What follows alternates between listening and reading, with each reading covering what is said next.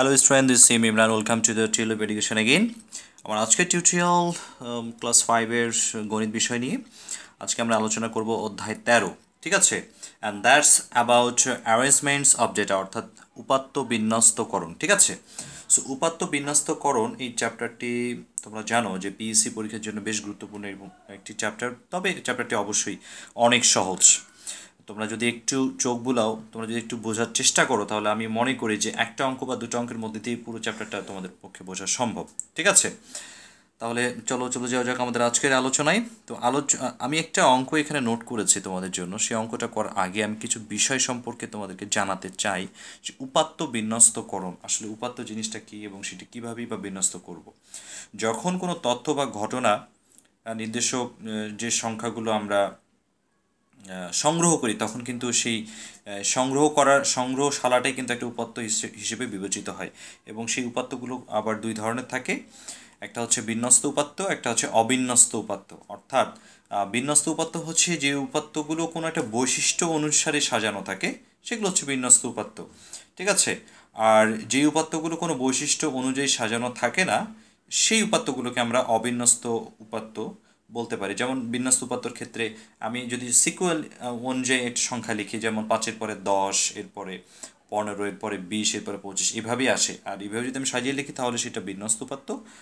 আর অবিন্যস্ত উপাত্ত বলতে যেটা বুঝাবে, যে পাঁচের পাঁচ নাই, প্রথমে পনেরো দিয়ে শুরু, এরপরে পাঁচ দিয়েছে, এরপরে বারো দিয়েছে, এরপরে আবার পঁয়তাল্লিশে গেছে, আবার পঁয়ত্রিশে এসছে। অর্থাৎ এলোমেলো করে যে সংখ্যাগুলো সাজানো থাকে, সেগুলো হচ্ছে অবিন্যস্ত উপাত্ত। ঠিক আছে? তো আমি বিষয়গুলো এর আগের যে টিউটোরিয়ালটি টিউটোরিয়ালগুলো আপলোড করছি সেগুলো, সেখানে তো আলোচনা করেছি, অধ্যায়ভিত্তিক আলোচনায়। এবং পাশাপাশি আমরা ওখানে আলোচনা করেছিলাম শ্রেণি ব্যবধান কি ঘটন সংখ্যা কি বা টালি কি, ঠিক আছে? সো এই ব্যাপারগুলোই কিন্তু আমাদের অঙ্ক করার জন্য গুরুত্বপূর্ণ। সো আজকের অঙ্ক হচ্ছে নিচে দেয়া আছে, পঁচিশ জন শিক্ষার্থীর বাংলায় প্রাপ্ত নম্বর দেয়া আছে। আর সেটা কি, এই যে বাংলায় প্রাপ্ত নাম্বার পঁচিশ জন শিক্ষার্থী পেয়েছে, সেগুলোকে এলোমেলো করে দেওয়া আছে। যেমন প্রথমেই তোমরা দেখতে পাচ্ছ যে পঁচাত্তর লেখা আছে, এরপরে উনসত্তর, এরপরে আবার পঁচাত্তর, এরপর সাতষট্টি, একাশি, ঠিক আছে? ছেষট্টি, ছিয়াত্তর, আটষট্টি, সাত, সাতাশি। তার মানে কি, সংখ্যাগুলো কিন্তু এলোমেলো আকারে সাজানো আছে। যদি সব থেকে ছোট সংখ্যা, এরপরে ধীরে ধীরে সব সব থেকে বড় সংখ্যার দিকে থাকতো, তাহলে সেটিকে আমরা বলতাম যে বিন্যস্ত উপাত্ত। অর্থাৎ যে উপাত্তটা এখানে দেওয়া আছে সেগুলো অবিন্যস্ত। ঠিক আছে? আচ্ছা এখন এই অবিন্যস্ত উপাত্তগুলোকে আমাদের কি করতে হবে? যে বিন্যস্ত আকারে সমাধান করতে হবে। অর্থাৎ আমাদের যে প্রশ্ন আর কি, সে প্রশ্নটাই হচ্ছে যে দেয়া আছে এই উপাত্তগুলোকে বিন্যস্ত করো। ঠিক আছে? তো বিন্যস্ত করতে হলে প্রথমেই আমাদের যেটি করতে হবে অঙ্কটি শুরু করার জন্য যেটা আমাদের দরকার যে এখানে যে তাদের প্রাপ্ত নম্বর হ্যাঁ প্রাপ্ত নম্বরের ভিতরে তার সর্বোচ্চ নম্বরটা কত এবং সর্বনিম্ন নাম্বারটা কত সেটি আমাদেরকে বিবেচনায় আনতে হবে, ঠিক আছে? অর্থাৎ সর্বোচ্চ নাম্বার এবং সর্বনিম্ন নাম্বারটা আমাদের জানা প্রয়োজন, সেটির জন্য আমাদের অ্যানালাইজ করতে হবে। সো আমরা প্রথমে লিখতে পারি যে এখানে এখানে সর্বোচ্চ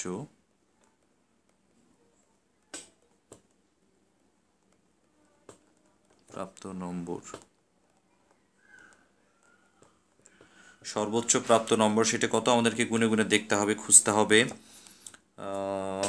উনসত্তর তিরাশি উননব্বই পঁচাশি আছে উননব্বই এটা সংখ্যা পেলাম, এরপরে পঁচাশি, তিয়াত্তর আশি, সাতাশি, তিরাশি, পঁচাশি, অর্থাৎ উননব্বই উননব্বই হচ্ছে সর্বোচ্চ প্রাপ্ত নম্বর। উননব্বই থেকে বড় কোনো সংখ্যা এখানে নেই। আচ্ছা এরপরে আমাদের দেখতে হবে সর্বনিম্ন প্রাপ্ত নম্বর। সর্বনিম্ন প্রাপ্ত নম্বর কত সেটি দেখতে হবে। সর্বনিম্ন প্রাপ্ত নম্বর আমরা যদি একটু আবার খুঁজতে শুরু করি। আচ্ছা আচ্ছা আচ্ছা। এখানে সাতষট্টি। আচ্ছা ছেষট্টি ছেষট্টি ছেষট্টি ছেষট্টি থেকে ছোট আমরা খুঁজব। সাতষট্টি সাতষট্টি, অর্থাৎ ছেষট্টি। ছেষট্টি হচ্ছে আমাদের সর্বনিম্ন প্রাপ্ত নম্বর। আচ্ছা এই দুটো নাম্বারের মধ্যে যে ব্যবধান সেটি আমাদেরকে বের করতে হবে। ঠিক আছে? এটা আমাদের আসলে আমরা যে উপাত্তটা যখন আমরা সাজিয়ে লিখব সেটির জন্য আমাদের শ্রেণি ব্যবধান দরকার হয় তো এই জন্য আমাদের সর্বোচ্চ নাম্বার এবং সর্বনিম্ন নাম্বার দরকার। অর্থাৎ এবং সর্বোচ্চ নাম্বার এবং সর্বনিম্ন নাম্বারের যে ব্যবধানটা, সেটা কত? সেটা আমাদের দরকার। ব্যবধান তাহলে কীভাবে বের করা যাবে? সর্বোচ্চ নাম্বার থেকে যদি সর্বনিম্ন নাম্বারটা আমি বিয়োগ করে দিই, অর্থাৎ উননব্বই বিয়োগ ছেষট্টি সমান সমান তিন দুই, অর্থাৎ তেইশ। তেইশ হচ্ছে আমার ব্যবধান হ্যাঁ? আচ্ছা এখন তেইশ বের করলাম, তাহলে আমি যে নম্বর যে শ্রেণি বিভাগ করব, সেই নম্বরের শ্রেণি বিভাগটা কীভাবে করব? হয়তো আমার চারটা ঘর আসতে পারে, পাঁচটা ঘর আসতে পারে। তো এই তেইশটাকে যদি অ্যারেঞ্জমেন্ট করার আমি চেষ্টা করি অর্থাৎ পাঁচ দিয়ে যদি ভাগ করি, তাহলে চার দশমিক সামথিং একটা রেজাল্ট আসবে। তাহলে আমার হিসেবে সুবিধার জন্য নম্বরগুলোকে জন্য আমি পাঁচ পাঁচ ব্যবধান করে নিতে পারি, ঠিক আছে? এটা আমার একটা ক্যালকুলেশন যে আমি যে নম্বরের পার্থক্যগুলো নিব, সে নম্বরের পার্থক্যগুলো ঠিক কীভাবে নিব? যদি তেইশকে পাঁচ দিয়ে ভাগ করি, তাহলে আলটিমেটলি চারের কিছু বেশি আসে, তাই না? অর্থাৎ আমি ব্যবধানগুলোকে পাঁচ শ্রেণি ব্যবধান হিসেবে নিতে পারি। তাহলে আমি লিখব যে পাঁচ শ্রেণি ব্যবধান পাঁচ শ্রেণি ব্যবধান নিয়ে কি করা হলো? সারণী তৈরি করা হলো।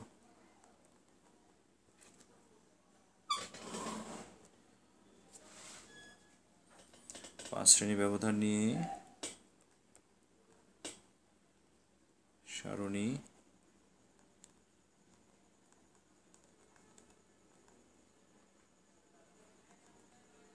তৈরি করা হলো। ঠিক আছে? আচ্ছা প্রথমে আমাদেরকে লিখতে হবে নম্বরের শ্রেণি বিভাগ, ঠিক আছে? নম্বর ঠিক কত থেকে কত রেঞ্জের মধ্যে আমি নিচ্ছি? এই জন্য আমাকে লিখতে হবে এখানে নম্বরের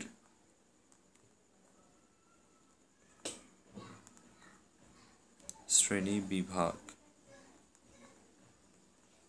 আচ্ছা এরপরে যে ঘরটা আছে আমার, সেটা হচ্ছে ট্যালি চিহ্ন।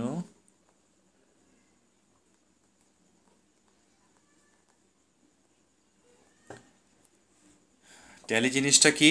ট্যালি হচ্ছে, আমি এর আগে বলেছিলাম যে যে কোনো উপাত্ত বা তথ্য একটি শ্রেণীতে যত সংখ্যক গঠন সংখ্যা পাওয়া যায়, সেগুলোকে ট্যালি ঘরে খাড়া দাগচিহ্ন দিয়ে আসলে আমরা প্রকাশ করি।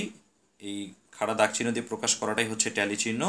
ঠিক আছে? ঘটন সংখ্যা আবার কি? সেই ঘটন সংখ্যাটা বলেছিলাম যে যে উপাত্ত বা তথ্য হতে যে দুটি সীমার মধ্যে যতগুলো সংখ্যা পাওয়া যায় হ্যাঁ অর্থাৎ নম্বর যে শ্রেণি বিভাগটা শ্রেণি বিভাগটা আমি নিব, সে শ্রেণি বিভাগের মধ্যে যতগুলো সংখ্যা পাওয়া যায়, সেটি কিন্তু আসলে ঘটন সংখ্যা বা গণসংখ্যা। আর এখানে আমার আসবে ঘটন সংখ্যা।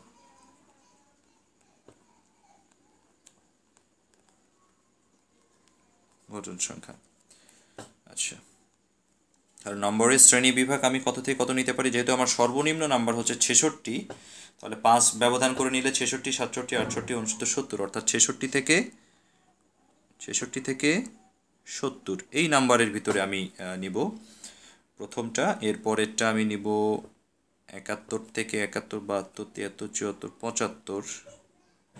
তারপর এটা সহজ একই রকমভাবে ছিয়াত্তর থেকে আশি।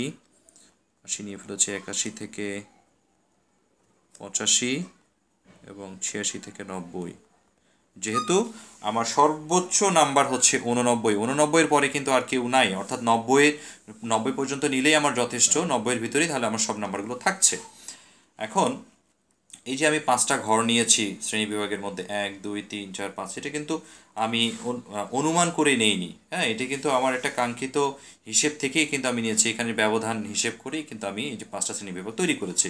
অনেকে চারটা করে করতে পারে, সেক্ষেত্রে রেঞ্জ আরও একটু বাড়িয়ে দিতে হবে। ছেষট্টি থেকে পঁচাত্তর নিতে পারে বা বাহাত্তর নিতে পারে, আবার তিয়াত্তর থেকে আটাত্তর নিতে পারে, এইভাবে করে নিতে হবে। যে যেটা করে নিতে পারে।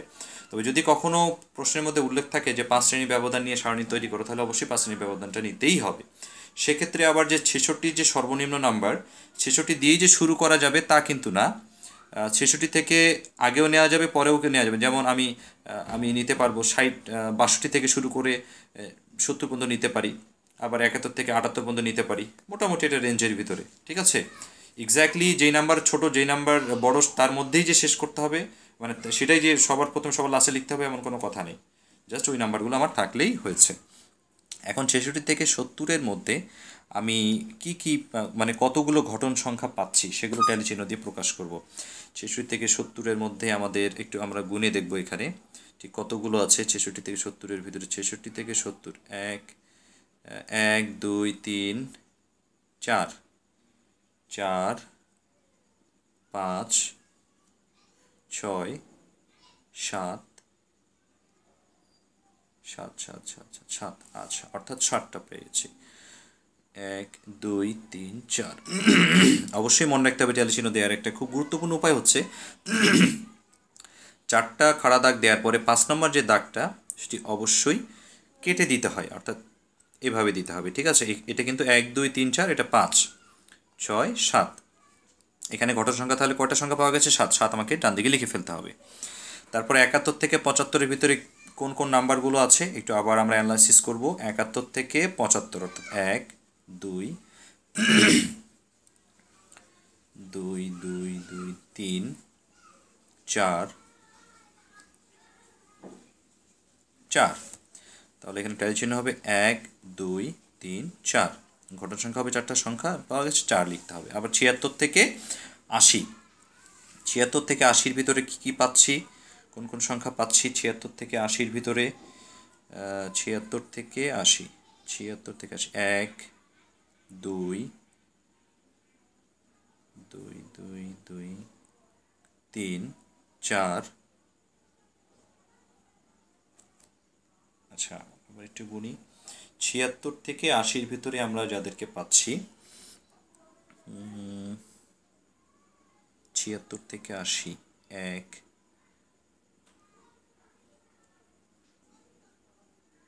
এক এক এক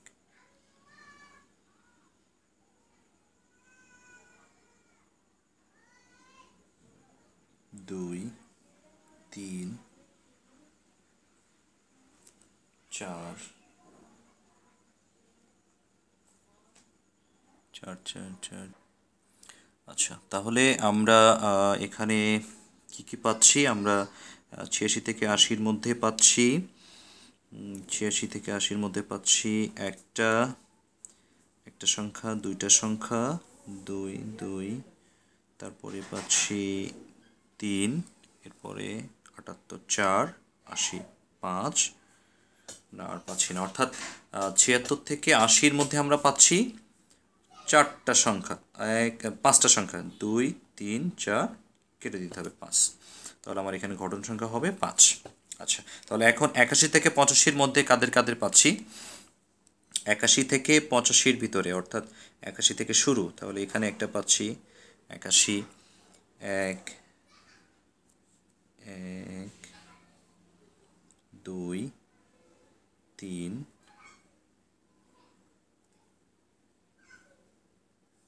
চার, পাঁচ। তাহলে একাশি থেকে পঁচাশির ভিতরেও পাচ্ছি পাঁচটা। দুই, তিন, চার, পাঁচ। তাহলে এখানে লিখতে হবে পাঁচ। তোমাদের বেস্ট হবে তোমরা যে সংখ্যাগুলোকে নিয়ে ফেলতেছো, সেগুলোকে গোল গোল করে দেয়া।